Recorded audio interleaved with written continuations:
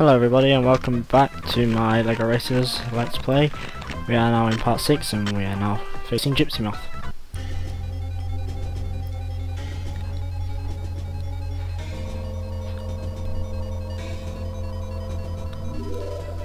So, you think you can outrace a veteran pilot like me? I'd like to see you try it. Oh jeez. Just wait till you see how fast I go. Oh, oh, you won't believe it. Yeah, yeah, she doesn't actually sound like that. But yeah, this is Gypsy Moth from Circuit 6. And she does the reverse of Basil the Batlord. Uh, she's the only female circuit leader in the game. And she's also the hardest of uh, the circuit leaders. So that's one for the girls. Girl power, hooray! Y yeah. Um, and this is this is the uh, circuit people have difficulty with most, obviously, because it's the most difficult one. And usually, what happens is people come second. They go on then to do the final um, circuit, and then they come back to try and come first in this one.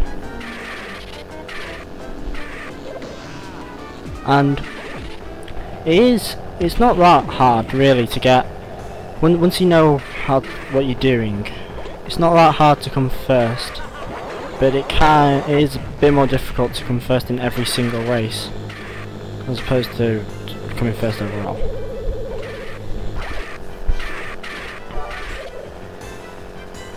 Um, the circuit has become a lot easier for me ever since I learned how to power slide because when I was younger I didn't know about the power slide and I always just turned normally. And that made the game a lot harder for me.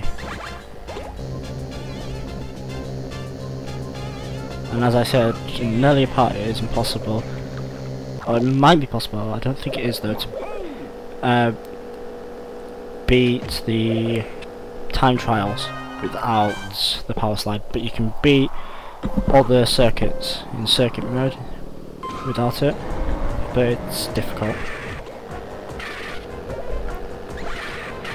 Now one thing I like about Gypsy Moth's car is unusual, but it looks really uh, cool at the same time. I always wanted a proper Lego set of like her car or something. I, I always wanted a Lego set of every car. And it is actually possible to build them yourself. Using just um, Lego pieces, but the pieces themselves are pretty hard to get.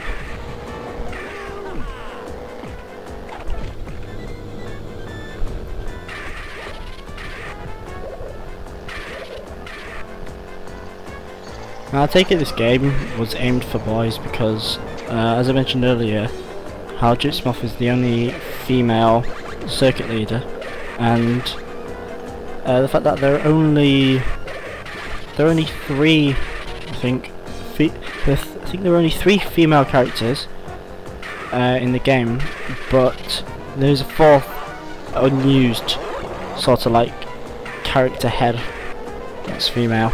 Which you can use uh, at the start of the game for your own racer. Uh, the other um, the other female characters are Willow the Witch, who is uh, basically the person for Night Marathon, and uh, Basil the Batlord's replacement in this circuit. Uh, and the other one's Veronica Voltage, who is the person you face against in the time trials, who is the granddaughter of um, uh, some other Lego guy, who I can't remember his name like Professor Voltage I think or something. And she is uh, probably the hardest opponent in the game, so that's another point for the girls.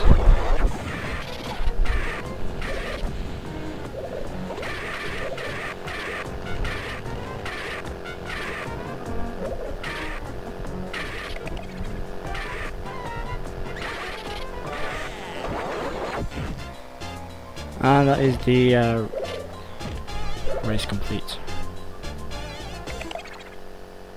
Look how far back everyone was.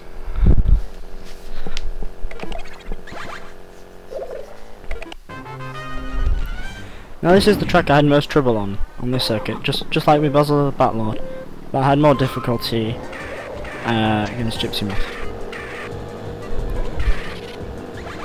Yeah, so even with the fastest car in the game I still had difficulty beating her, so that uh, really just shows that there isn't that much of a difference in the uh, chassis of the car.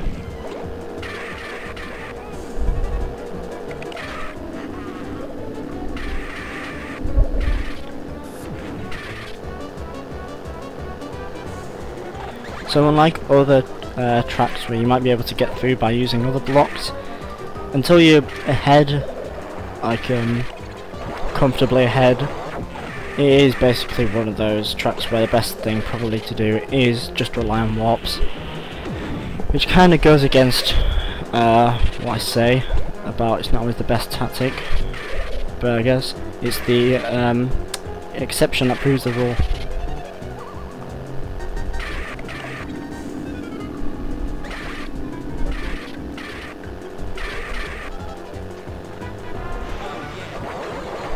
I used to think, before I knew the, the shortcut in, in this track, I used to think that Skull, uh,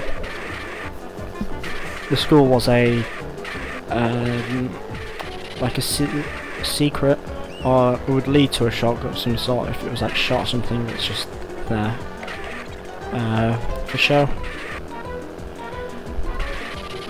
Also, the ship in the background shoots just randomly It doesn't actually have an effect on the track. However, though I've learnt that in Imperial Grand Prix, the very first race, uh, there are cannons at a certain point, and if you uh, press the item button, it fires the cannon. Also, if you don't have a coloured brick and you press the item button, you sound the horn. And the horn sounds different depending on the car you use. I never really talked about the scoring system either. Uh, 30 points for coming first, 20 for coming uh, second, and um, 10 for coming third. Then it just goes to I think 4, 3, 2, and 1 points to their um, respective places.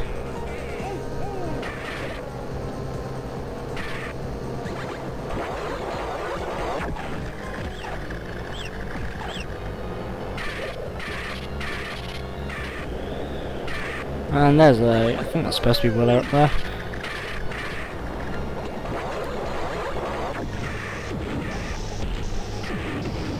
Now, a strange thing with uh, that hazard that drops, they're basically cannonballs, and the cannonballs themselves is, even after the cannonballs exploded, sometimes if you drive into um, the spot where it exploded while the bang effect um, is still there, you still can get hurt by it.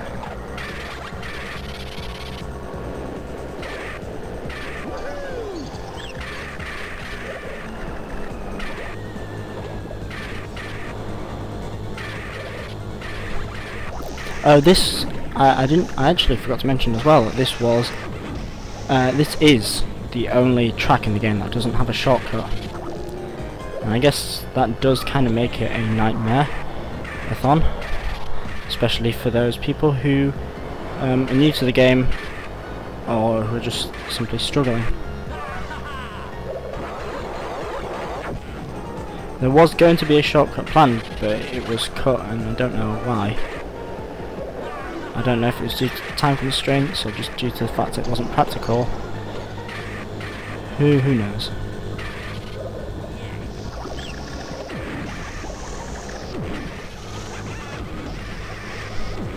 So we've almost uh, finished, and we have finished.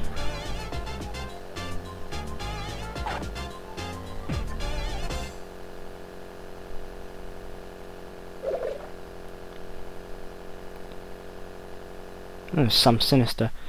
He is what um, I think what Baron von Baron is currently called now, for some reason. I think they slightly changed his appearance and started to call him Sam Sinister for uh, unknown reason. But yeah, that was it for uh, part 6. I made it look easy, but it wasn't. In the next part, we will be doing uh, Rocket Racer Run, which is the only track in this circuit, circuit number 7. Against Rocket Racer. See you then guys, goodbye.